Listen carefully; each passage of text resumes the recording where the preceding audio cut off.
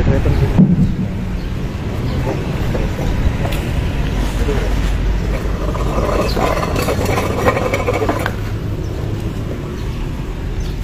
Dan sobat bos hari ini adalah hasil hasil tangkapan satuan lalu lintas terkait knalpot bising atau yang diamankan oleh jajaran uh, Satlantas uh, dipimpin Kapolres di Hambodo Kasatlantas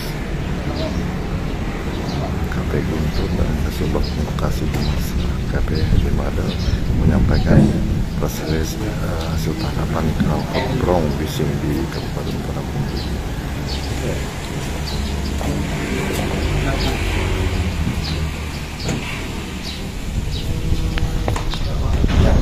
tes ini perlu dijelaskan cuma nggak perlu kan?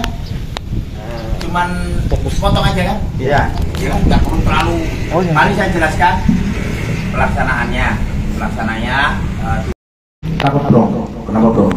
Jadi kemarin pada waktu pelaksanaan bulan Ramadan kami eh, Polres Tanah Bumbu khususnya eh, Lantas Tanah Bumbu melakukan kegiatan yang bertujuannya men- menyamankan memberi kenyamanan pada masyarakat Kabupaten Tanah Bumbu yaitu melaksanakan operasi knalpot blok jadi dalam hal ini knalpot blok memang dilarang Dijelaskan di sini pada pasal 285 ayat 1 Undang-Undang RAJR.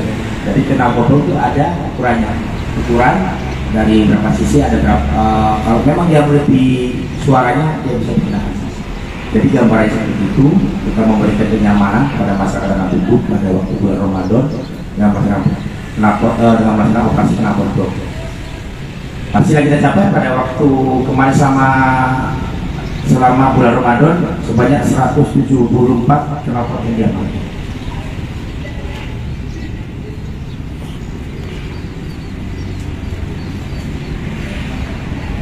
Cocok?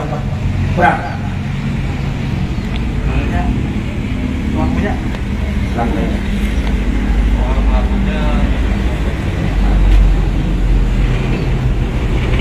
cuma ini oh gini aja. Apa namanya